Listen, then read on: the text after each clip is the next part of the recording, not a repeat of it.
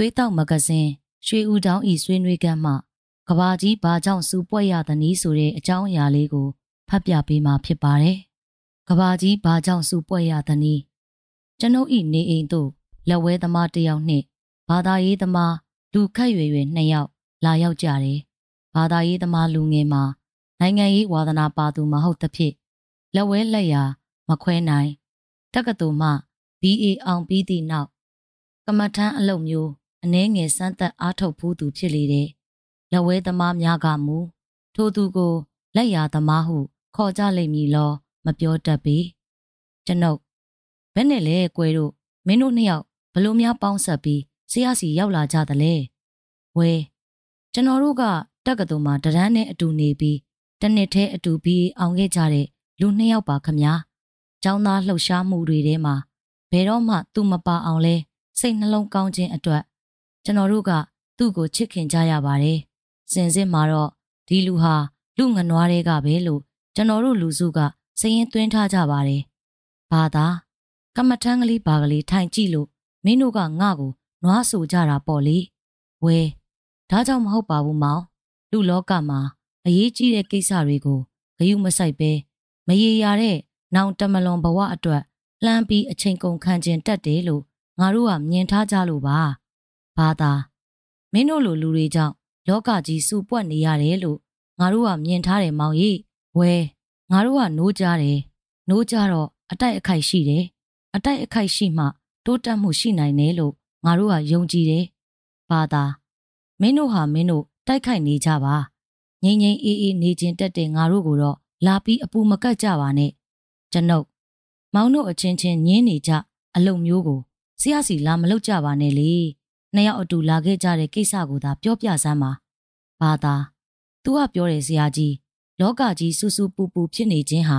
ဖြစ်တဲ့လို့ဖြစ်ရတာပဲတဲ့ဒီလိုစူးစူးပူပူဖြစ်မှလဲတိုးတက်နိုင်မှုရှိတယ်တဲ့ငြိမ်းချမ်းခြင်းရှာတာဟာအတိတ်ပဲမရှိဘူးတဲ့ကျွန်ုပ်ဒါဖြစ်သူကငြိမ်းချမ်းရေးသမားမဟုတ်ဘူးပေါ့ဝဲတင်းញိုင်းတွေကငြိမ်းချမ်းရေးမျိုးကိုတော့ကျွန်တော်တို့မကြိုက်ဘူးဆရာကြီးကျွန်ုပ်မောင်တို့လူစု လှုပ်ရှားမှုမျိုးတွေကြောင့်တကဘာလုံးတင်းញိုင်းနဲ့ရောက်ကုန်ကြလျင်ကောမောင်ရဲ့ဝဲရောက်တော့မှရောက်ပေါ်ဆရာကြီးလှုပ်ရှားနေရမှာပဲကျွန်ုပ်တော်တော်ကြောက်စရာကောင်းတဲ့အယူအဆပါတကားကွယ်တို့ဘာသာသူတို့အယူအဆကိုထားလိုက်ပါတော့ဆရာကြီးခမညာယခုတလောကဘာကြီးမှာစိတ်အေးလက်အေးနေကြရသည်ဟုမရှိပဲကဘာသူကဘာသားအပေါင်းမှာတပူပူတနွေးနွေးဖြစ်နေကြရခြင်းရဲ့အကြောင်းရင်းအစ်စ်အမှန်ဟာ ဘာကြောင့်မို့ဆရာကြီးဖြစ်ပါသလဲခမညာကျွန်ုပ်ကဘာရေးရာအကြောင်းကိုစင်ကျင်သုံးသပ်လိုက်ရင်တော့ဒီခေတ်မှာအရေးအကြီးဆုံးအစိုးရကြီးနှစ်ခုဟာရုရှားနဲ့အမေရိကန်ပဲလို့ဆိုရလိမ့်မယ်။ဘာသာခုတလောမှာရုရှားနဲ့တရုတ်အရေးတရုတ်နဲ့အိန္ဒိယအရေးတို့ပေါ်လာပြန်ပြီမဟုတ်ဘူးလားဆရာကြီး။ကျွန်ုပ်ရှားဆောင်မင်းကမီးတကြီးလို့တော့ဆိုနိုင်ပါတယ်။အရေးအကြီးဆုံးမီးကတော့ရုရှားနဲ့အမေရိကန်ပါပဲ။ ဝဲကျွန်တော်တို့အမြင်ကတော့တမျိုးပဲဆရာကြီး။ကျွန်ုပ်ဘလို့လဲမောင်။ဝဲကွန်မြူနစ်နဲ့အရင်ရှင်စနစ်ပရိပခမှုလို့ဆိုချင်ပါတယ်။ကျွန်ုပ်စနစ်ဆိုတာလူမမဟုတ်ပဲမောင်ရဲ့တိုက်เสียရှိတော့လူချင်းတိုက်ခိုက်ရမယ်မဟုတ်ဘူးလား။ဝဲကျွန်တော်တို့ကသဘောတရားအရေးကြီးတယ်ဆရာကြီးလူအရေးမကြီးပါဘူး။ကျွန်ုပ်ကောင်းပြီသဘောတရားကိုပြောရမယ်ဆိုရင်ဘိုလ်လူကျင်တဲ့လောဘတရားဒါမှမဟုတ် ကဘာမှာနံပါတ်1ဖြစ်ချင်တဲ့မာနတရားတစ်ဖက်သားထက်တာလိုဝါလိုတဲ့မာနတရားတစ်ဖက်သားကြီးပွားပြီးကိုယ့်ထက်တာသွားမှာကို မခံနိုင်တဲ့အိတ်တာမစ္စရိယတရားလို့ဆရာကမြင်တယ်ဝဲရုရှားပြည်ကအရင်ရှင်စနစ်ဤအပြစ်ကို မြင်လို့မို့ကဘာပေါ်ရှိ တိုင်းပြည်နိုင်ငံများကိုဆိုရှယ်လစ်သို့မဟုတ်ကွန်မြူနစ်နိုင်ငံတွေဖြစ်ကုန်အောင်စူးစမ်းခြင်းဖြစ်ပါတယ်ဆရာကြီးဘို့လှုပ်ချင်လို့မဟုတ်ပါဘူး ကျွန်ုပ်ဒီလိုဆိုရင် အမေရိကန်ကလည်းကွန်မြူနစ်ဝါဒဤအပြစ်ကိုမြင်ပြီးကဘာတို့ကွန်မြူနစ်ဝါဒမပြတ်နှံ့ရအောင်စူးစမ်းခြင်းဖြစ်ပါတယ်ဘို့လှုပ်ချင်လို့မဟုတ်ပါဘူးလို့မပြောနိုင်ပေဘူးလားဝဲမှန်မှမမှန်ပဲဆရာကြီးကျွန်ုပ်အမေရိကန်ကလည်းရုရှားရဲ့အယူအဆကိုမမှန်ဘူးလို့မပြောနိုင်ပေဘူးလားနှစ်ဖက်စလုံးဟာကိုဟာကိုမှန်တယ်လို့ပြီးရံဖြစ်နေကြမဟုတ်လားဝဲ ဒါဖြစ်ဆရာကြီးကတော့ဘိုလ်လူပွဲလို့မြင်နေပေါ့လေကျွန်ုပ်ဒီလိုပဲမြင်နေဘိုလ်လူပွဲဆိုတာကိုရုရှားကလည်းဝန်ခံမယ်မဟုတ်ဘူးအမေရိကန်ကလည်းဝန်ခံမှာမဟုတ်ဘူးသူတို့ဟာသူတို့တောင်မြင်ကောင်းမှမြင်ကြမယ်နှစ်ဖက်စလုံးကိုကိုကိုလိန်နေကြပြီးတစ်ဖက်ကကဘာသူကဘာသားကိုကယ်တင်ရအောင် အခြားတစ်ဖက်ကလည်းကမ္ဘာတိုင်းပြည်များကိုကွန်မြူနစ်မဖြစ်ရအောင်ဆိုပြီးဝါဒဖြန့်က ကိုကိုကိုကယ်တင်ရှင်ဟီးရိုးကြီးတွေအနေနဲ့ကဘာကိုအထင်ပေးနေကြခြင်းဖြစ်တယ်။ဒီလိုမှလည်းဝါဒဖြန့်လို့ကောင်းမှာကိုမောင်ရဲ့ဝဲဘလို့ဝါဒဖြန့်လို့ကောင်းမုံလဲဆရာကြီးကျွန်ုပ်အမေရိကန်ကဖြစ်စီရုရှားကဖြစ်စီကျုပ်ဟာနံပါတ်1တိုင်းပြည်ကြီးဖြစ်ချင်ပါတယ်။ကျုပ်ကိုအားပေးကြပါလို့ပြောပြီးလူစုမဲဆိုရင်ဘယ်မှာနောက်လိုက်ငယ်သားရနိုင်မလဲ။ဘယ်တိုင်းပြည်ကသူ့ဘက်ပါကျင်လိမ့်မှာလဲ။အခုတော့ ဘယ်နဲ့လုံနေကြသလဲဆိုတော့အမေရိကန်ကကွန်မြူနစ်ဝါဒဟာဖျားတရားမရှိတဲ့ဝါဒသည်ဝါဒထုံးကားလျင်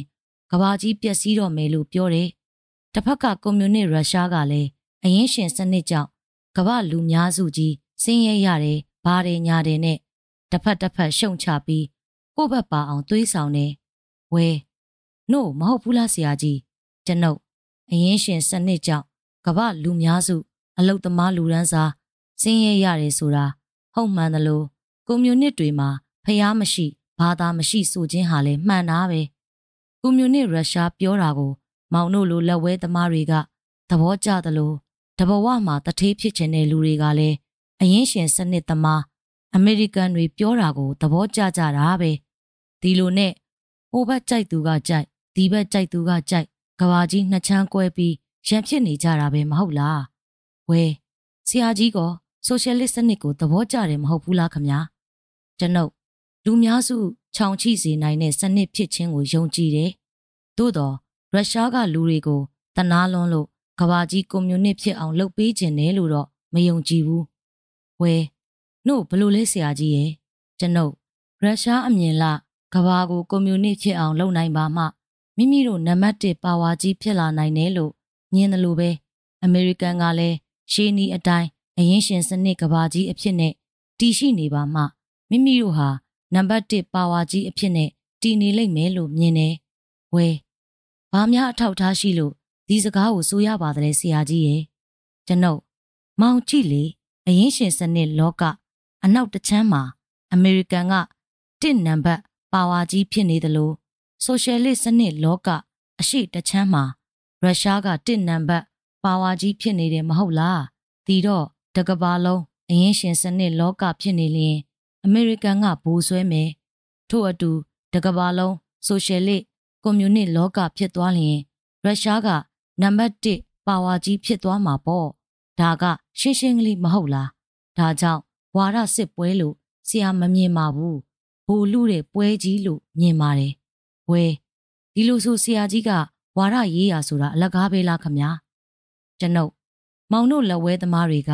ရုပ်ဝါရသမားတွေပါစိတ်အကြောင်းကိုလေ့လာထားတဲ့လူတွေမဟုတ်ပါဘူးဝဲဆရာကြီးကတော့စိတ်အကြောင်းကိုဘာကိုလေ့လာထားလို့ဘာတွေများသိတယ်လဲခမညာကျွန်ုပ်ဆရာပြောတာကိုယုံကြည်မှယုံမယ်သို့တော့စဉ်းစားကြည့်ပါ လူတတဝါဆိုတာခွန်အားကလေးရှိရင်သူနဲ့ခပ်ပြိုင်ပြိုင်ရှိတဲ့လူတွေကိုချိုးနှိမ်ပြီးမိမိကိုယ်ကိုတစ်နံပါတ်ဖြစ်အောင်လှုပ်ချင်တတ်တဲ့သဘာဝရှိတာကြီးပဲမောင်တို့မတ်ဆိုတဲ့ လူစုကပစ္စည်းကိုကြီးအကြောင်းပြုပြီးရန်ဖြစ်တတ်တယ်လို့ယူဆကြတယ်ဆရာတို့ဗုဒ္ဓဝါဒအရာကတော့ပစ္စည်းကြောင့်ရဲ့လို့မဟုတ်ဘူးတကောအာနာကိုအကြောင်းပြုပြီးတော့လေရန်ဖြစ်တတ်ကြတယ်လို့ဆိုတယ်ဝဲအမေရိကန်နဲ့ရုရှားနဲ့ပြိပခဖြစ်မှုဟာဝါဒရေးရာကြောင့်မဟုတ်ဘူးလားခမညာကျွန်ုပ်ဒါကတော့အခြေအနေအရအကြောင်းအားလျော်စွာဟုတ်မှန်တာပေါ့ဒီလောက်အင်အားကြီးပြီးမန်မာနတွေ မောက်ကဲနေတဲ့တိုင်းပြည်ကြီးနှစ်ပြည်ဟာကဘာမှာရင်ဆိုင်နေကြတယ်ဆိုရင်တနည်းနည်းနဲ့တော့တစ်နံပါတ်ပါဝါကြီးဖြစ်အောင် အလူအယက်လောက်ကြမှာကြီးပဲဝါဒရေးရာဆိုတာကအကြောင်းအားလျော်စွာပေါ်လာရခြင်းမျှတာဖြစ်ပါတယ်ဘူလူချင်းတက်တဲ့ပုထုဇဉ်တဘာဝအရာဆိုရင်တော့အကြောင်းတစ်ခုခုရှာပြီးနောက်ဆုံးမှလကိုသူအရင်ရောက်ငါအရင်ရောက်ကိစ္စမျိုးနဲ့ပတ်သက်ပြီးတစ်ဖက်ကိုတစ်ဖက်အကျိတ်အနေသဘောထားပြီး အကြီးအကျယ်ရန်လုံနိုင်ခွင့်ရှိတာပါပဲ။ဝဲအရင်ရှင်စနစ်နဲ့ဆိုရှယ်လစ်စနစ်ပฏิပက္ခဖြစ်ခြင်းဆိုတာမှားသလားဆရာကြီး။ကျွန်ုပ်မှားတယ်လို့ဆရာမဆိုဘူး။လက်ရှိအခြေအနေအရတော့ဟုတ်ကောင်းဟုတ်မယ်။သို့တော့အရင်အမြစ်ကတော့ဘူလူကြခြင်းပါပဲ။ဝဲအရင်ရှင်စနစ်အဖို့ရာကတော့ဘူလူစရာအလုံးမရှိပါဘူးခမညာ။ကျွန်ုပ်မောင်တို့နားမလဲပါဘူး။ဝါရချင်းပြိပခဖြစ်စရာမရှိတော့က အရင်ရှင်စနစ်တိုင်းပြည်အချင်းချင်းခဏခဏပရိပခဖြစ်ပြီးစစ်တိုက်ခဲ့ကြတယ်မဟုတ်ဘူးလားကွဝဲဒါကတော့နေချေသမားအချင်းချင်းမြေကြီးလူကြခြင်းကိုဆရာကြီးရဲ့ကျွန်ုပ်မပြောစမ်းပါနဲ့ကွယ်နေချေသမားအချင်းချင်းမို့သာပฏิပက္ခဖြစ်ရတတ်တယ်ဆိုရင်ဆိုရှယ်လစ်စနစ်တိုင်းပြည်အချင်းချင်းဖြစ်ကြတဲ့ရုရှားနဲ့တရုတ်တော့ကဘာကြောင့်ရန်ဖြစ်တယ်လဲကွဝဲဒါကတော့လေဝါရရေးရပါပဲဆရာကြီး ကျွန်ုပ်မောင်တို့လက်ဝဲသမားတွေခဏခဏပြောတတ်ကြတယ်အရင်ရှင်စနစ်သမားချင်းရန်ဖြစ်ကြတယ်အရင်ရှင်စနစ်နဲ့ဆိုရှယ်လစ်စနစ်နဲ့ရန်ဖြစ်နိုင်တယ်ဆိုတော့ဆိုရှယ်လစ်စနစ်အချင်းချင်းတော့ရန်ဖြစ်စရာအကြောင်းမရှိနိုင်သလိုလိုဖြစ်မနေဘူးလားဝဲခုပုံတော့ကျွန်တော်တို့အယူအဆမှားသလိုဖြစ်တော့တာပေါ့ဆရာကြီးသို့တော့ဆိုရှယ်လစ်အချင်းချင်းကတော့အငင်းအခုံဖြစ်ုံလောက်ရှိမှာပါပဲသွေးထွက်တန်ယူဖြစ်စရာရှိမယ်မထင်ပါဘူး ကျွန်ုပ်ဆရာလည်းပဲတခါတော့ငါဒီလိုပဲယုံကြည်ခဲ့ဘူးပါတယ်ခုတလောတော့ဘာမှမယုံတော့ဘူးခွန်အားတောင့်တင်းလာတဲ့တိုင်းပြည်တိုင်းဟာတစ်နံပါတ်ပါဝါဖြစ်ဖို့စ조사ခြင်းတက်တယ်ဆိုတဲ့လူတဘာဝကိုစဉ်းစားမိတဲ့အချိန်ကစပြီးဘသူ့ကိုမှစိတ်ချလက်ချမယုံနိုင်တော့ဘူးဝဲဆရာကြီးကရုရှားနဲ့တရုတ်သဘောကွဲလွဲကြတဲ့အချင်းအရာကို လေ့လာဘူးတယ်ထင်ပါတယ်သူတို့နှစ်ဦးဘသူကမှားတယ်လဲဆရာကြီးကျွန်ုပ်ဒီကိစ္စ တိမ်မွေ့တယ်ကွယ်ထင်မြင်ချက်မပေးချင်ဘူးသို့တော့တေးကြတာတစ်ခုကတော့အုပ်စုနှစ်စုအပြိုင်အဆိုင်အကျိတ်အနေသဘောထားနေကြတဲ့အချိန်အခါမျိုးမှာ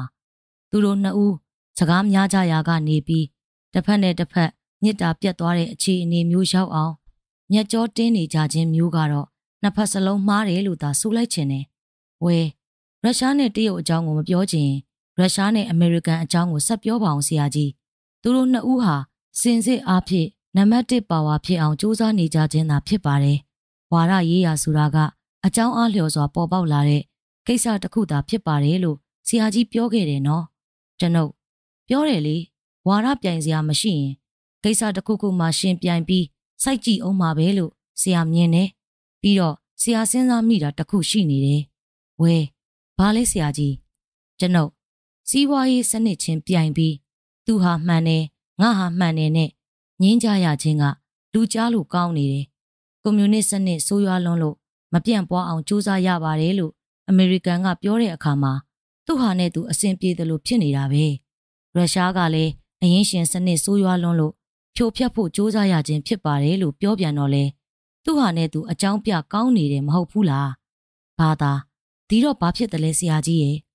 ကျွန်ုပ်ဒီလိုဆိုတော့ကဘာသူကဘာသားတွေမျက်စိလဲပြီး ဟိုဘက်ပါတဲ့လူကပါဒီဘက်ပါတဲ့သူကပါအုပ်စုကြီးနှစ်ခုကွဲသွားတော့တာပေါ့တစ်ဖက်ကစီတိုးနာတိုးဘာတိုးညာတိုးနဲ့ဖြစ်တယ်တစ်ဖက်ကလည်းဝါစောပတ်ဆိုပြီးပေါ်လာတယ်ဘာသာဒီတော့ဆရာကြီးကဘလို့လှုပ်ချင်တယ်လဲကျွန်ုပ်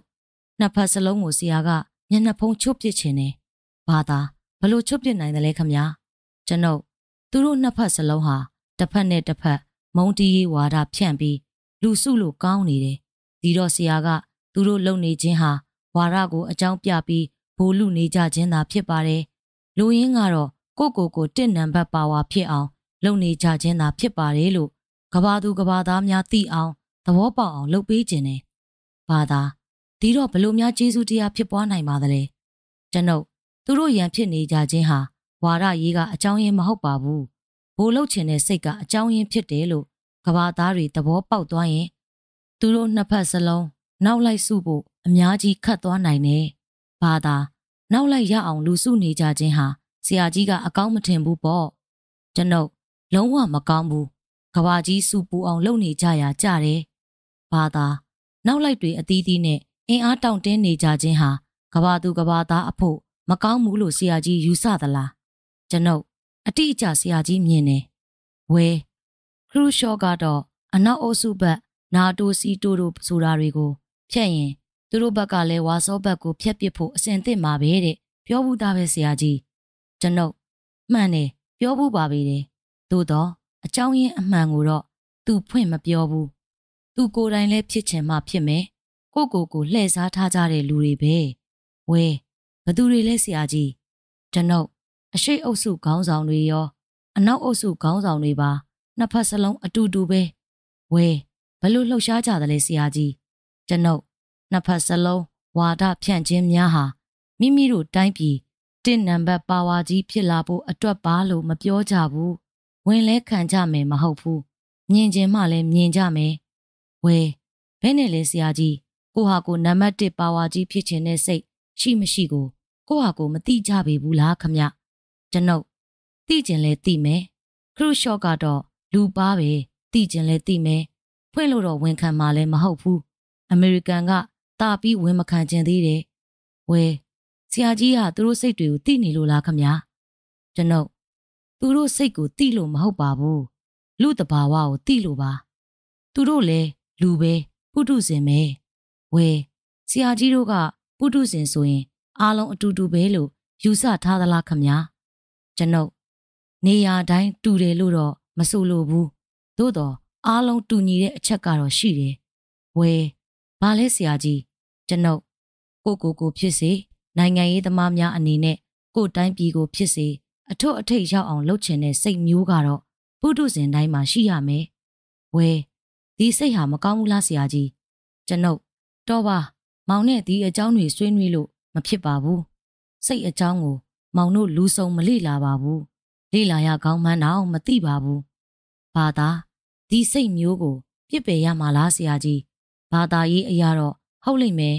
နှုတ်ပေမဲ့လောကအဖို့မှာတော့ညံ့မကုန်မေဘူးလားဆရာကြီးကျွန်ုပ်ကြီးပွားလိုတဲ့လောဘကို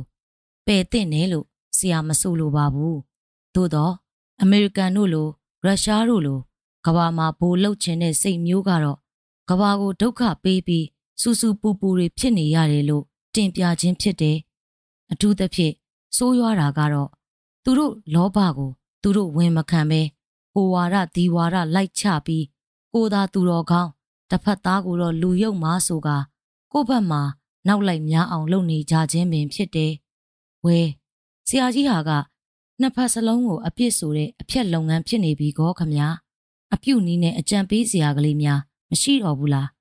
ကျွန်ုပ်ဆရာအကြံပေးချင်တာကတော့ဘိုလ်လူနေကြတဲ့တိုင်းပြည်ကြီးနှစ်ပြည်ထက်ဗတ်မလိုက်ဘူးဆိုတဲ့ ဂျားနီတိုင်းပြည်များကိုအကြံပေးခြင်းနဲ့ဘာသာသူတို့ခွန်အားမှမရှိပဲဘာတက်နိုင်မှာလဲဆရာကြီးကျွန်ုပ်တက်နိုင်တယ်အများကြီးတက်နိုင်တယ်မောင်တို့မစင်စားမိဘူးဝဲဆရာကြီးကဘာများစဉ်းစားထားမိလို့လဲခမညာကျွန်ုပ်လက်ရှိကမ္ဘာအခြေအနေအရမှာအမေရိကန်နဲ့ရုရှားတို့ဟာတစ်ဖက်ကိုတစ်ဖက်ဒီလောက်ဂယုမဆိုင်ဘူးဗတ်မလိုက်တဲ့နိုင်ငံများအပေါ်မှာနာမည်ကောင်းရဖို့အထူးစူးစမ်းနေကြတယ်။ ဘာသာရှင်းမအောင်ဆရာကြီးကျွန်ုပ်ဘိုလ်လူကြတဲ့တိုင်းပြည်ကြီးနှစ်ပြည်ဟာ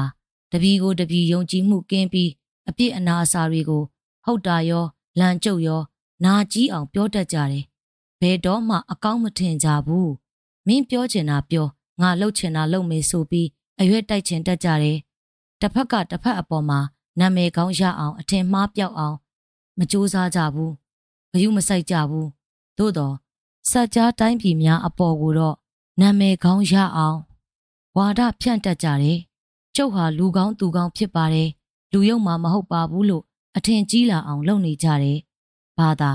ဒီလိုဆိုရင်နှစ်ဖက်စလုံးကစัจ जा တိုင်းပြည်များရဲ့အထင်ကြီးမှုကိုလိုချင်တယ်။ဒါကြောင့်စက်ကြားတိုင်းပြည်များကိုပိုပြီးဂရုစိုက်တယ်လား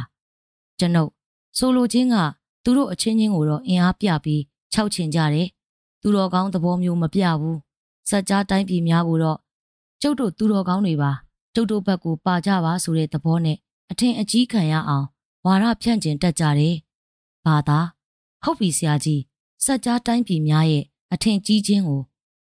နှစ်စုလုံးကပိုပြီးလိုလားတယ်ဆိုတာကိုကျွန်တော်သဘောပေါက်ပြီဒီတော့ဘာဖြစ်တယ်လဲဆရာကြီးကျွန်ုပ်နှစ်ဖက်စလုံးရဲ့အပါဆွဲခြင်းခံရတယ်ဆိုတာလေးစားရခြင်းတမျိုးပဲမဟုတ်ဘူးလားကွဘာသာဟုတ်ပါတယ်ဆရာကြီး ကျွန်ုပ်ဒီဟာတန်ဖိုးရှိတယ်နော်ဘာသာရှိတာပေါ့ဆရာကြီးကျွန်ုပ်အဲ့ဒီတော့စက်ကြားတိုင်းပြည်များကဒီတန်ဖိုးကိုအားပြုပြီးကိုဘက်လှဲ့မြူလိုက်ဒီဘက်လှဲ့မြူလိုက်နဲ့ကို့တိုင်းပြည်အတွက်ချူယူနေကြတယ်ဒီအလုပ်ဟာအထောက်အပံ့ရဖို့လွယ်တော့လွယ်တယ်သို့တော့လူနှုံများရဲ့အလုပ်မျိုးသာဖြစ်တယ်ဘာသာဟုတ်တာပေါ့ဆရာကြီးအခြားနည်းဘယ်လိုသုံးရမလဲဆရာကြီးကျွန်ုပ် စက်ကြားနိုင်ငံများဟာမိမိတို့အချင်းချင်းပူးပေါင်းပြီးကဘာသူကဘာသားအတွက်ဒါမှမဟုတ်ကဘာငိမ့်ချမ်းရေးအတွက်မန်နိုင်ကြီးတပွဲအတုံးချနိုင်တဲ့နည်းရှိတယ်။ကဲနောက်တစ်ခေါက်မှဆက်ပြီးပြောပြအောင်မယ်ဟေ့လာခဲ့ကြအောင်နော်။နှစ်ယောက်လုံးကောင်းပါပြီဆရာကြီး။ရွှေဦးတောင်းသွေးတောက်သွေးတောက်မဂဇင်းရွှေဦးတောင်းဤဆွေးနွေးခန်းမှကဘာကြီးဘာကြောင့်စူပွက်ရသနည်းဆိုတဲ့အကြောင်းအရာလေး ဒီနေရာမှာပဲပြီးဆုံးပါပြီ။